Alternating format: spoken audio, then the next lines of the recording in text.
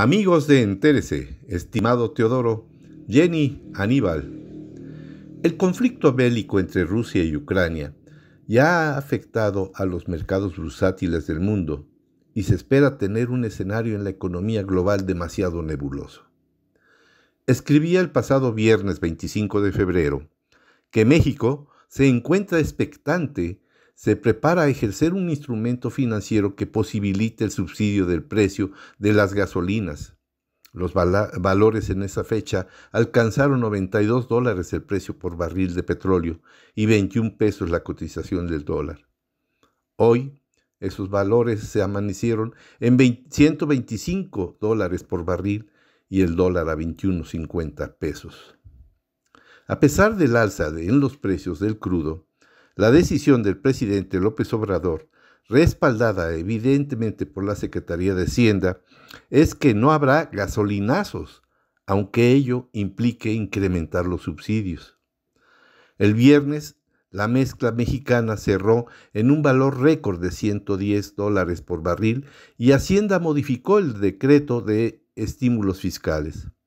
Cuando los precios de la gasolina y diésel superen 100% del IEPS, que es el caso de la Magna y el diésel, se otorgará un estímulo adicional que esta semana será de 87, 87 centavos y 60 centavos pesos por litro, respectivamente, y que los expendedores podrán acreditar contra el impuesto sobre la renta o el IVA.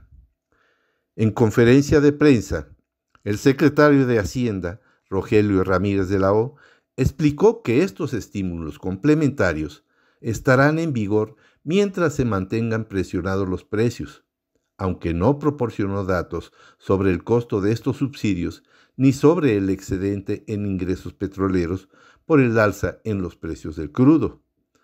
Exhortó a no alarmarnos ante los choques externos y que, al igual que sucedió con la crisis de la pandemia, el gobierno no sobrereaccionará insistió que la primera línea de defensa es la estabilidad de las finanzas públicas.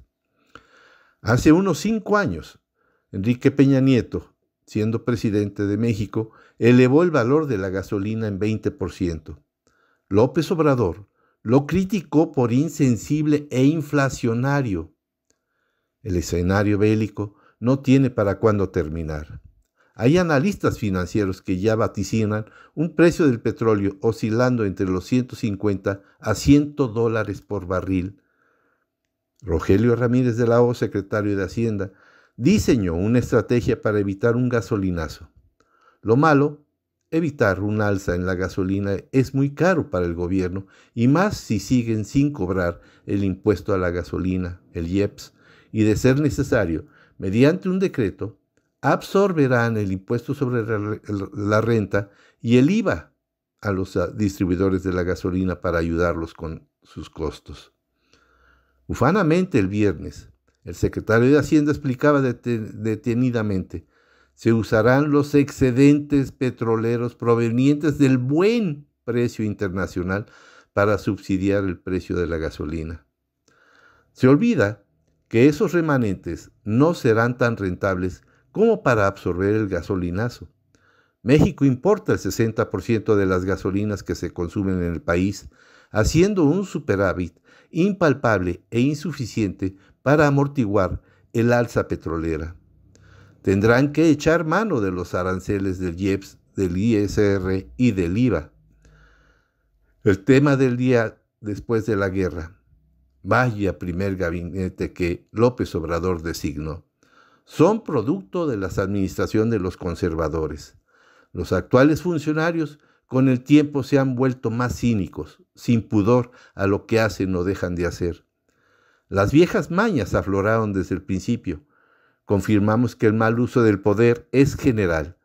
Josefa González Blanco Ortiz Mena, Hugo López Gatel, Manuel Bartlett, Santiago Nieto, Julio Scherer y ahora Alejandro Gertz.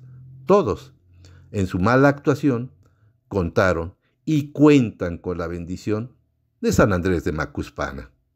Como siempre amigos, les dejo un saludo con mucho afecto.